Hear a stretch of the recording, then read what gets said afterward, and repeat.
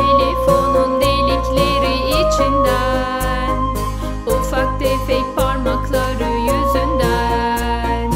Ah bilseniz başımıza ne geldi? Küçük kardeşimin yüzünden. Babam evde yokken telefon eder Bütün şehri ağır